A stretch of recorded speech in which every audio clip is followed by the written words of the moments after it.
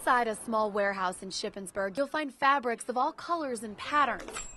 Continue towards the back, and you'll meet a local fashion designer whose mission is military. So this, the back of the duffel bag is the back of the uniform. Eve Baum moved to central Pennsylvania from Canada six years ago. Armed with a degree in fashion design, she started a small handbag business from home.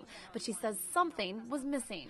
Well, I was life searching. I was happy with what I was doing, but I, I, I always knew that I wanted a higher purpose. I wanted something that was going to grow nationwide. And in 2007, that purpose came in the form of a local soldier who wanted to honor his family in a special way. A major from the U.S. Army actually send me his fatigues, just like you know the ones that we have here in a box, and at the bottom a little letter asking if I could, um, you know, transform them into a handbag for his mom and his sister who was pregnant for Christmas. When I was cutting it, I got chills, and I was like, well, I know this is my big idea. You know, this is what I'm supposed to do, and this is what I would love to do. From there, she began fashioning fatigues for a new project, militaryhandbag.com. Fine. Um, you know, your fatigues, and it's going to have all the name tape and all the patches, and you're going to put this in a box, send it, send it to us with USPS, and we reimburse your postage fee.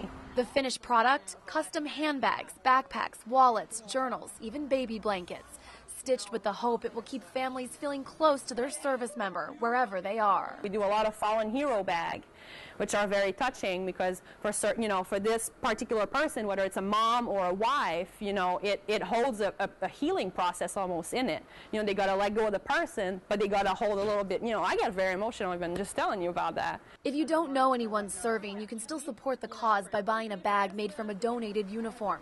At least 10% of every sale is given to charities benefiting the troops and their families. Eve says it's her little way of saying thank you to those who helped her achieve her own American dream.